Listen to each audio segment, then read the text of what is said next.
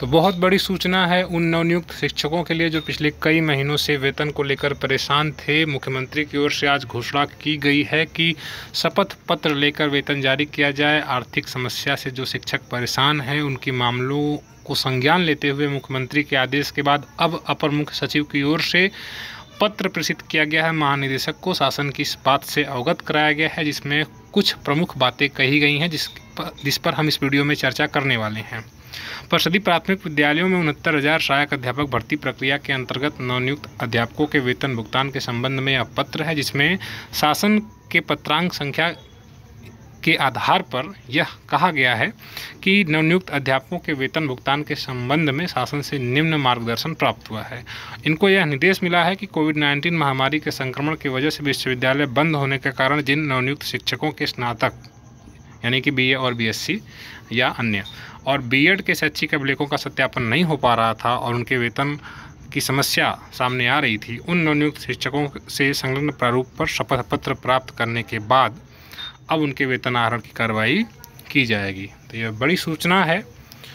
कहीं ना कहीं समस्याओं को हल करने का प्रयास शासन की ओर से यहाँ किया गया है। उक्त नवनियुक्त शिक्षकों से शपथ पत्र प्राप्त कर लिया जाए।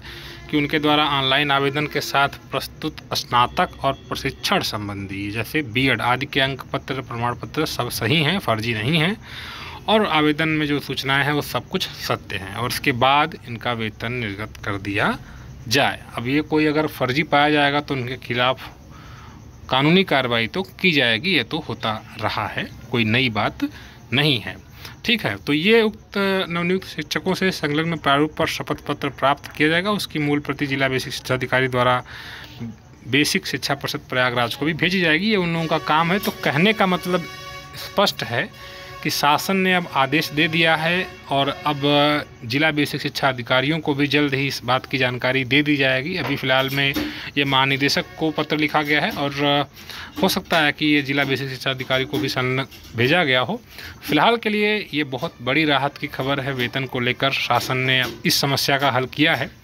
अब बी और बीए इन दोनों के वेरिफिकेशन की ज़रूरत नहीं है हाई स्कूल इंटर वेरिफिकेशन के बाद वेतन अब लग जाएगा फ़िलहाल के लिए, और उम्मीद है कि इस मई माह का वेतन आप लोगों को जून में मिलेगा। ठीक है? तो मिलते हैं फिर, और भी जो सूचनाएँ हैं उससे आपको अवगत कराया जाता रहेगा। धन्यवाद।